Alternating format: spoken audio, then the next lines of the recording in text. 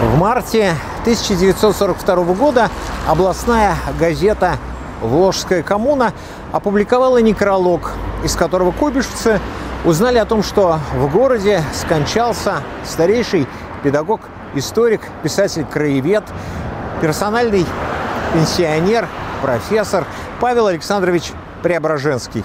В некрологе сообщалось, что в Самаре Преображенский жил с 1883 года и написал ряд книг об истории города. Сегодня мы перелистаем страницы некоторых из них.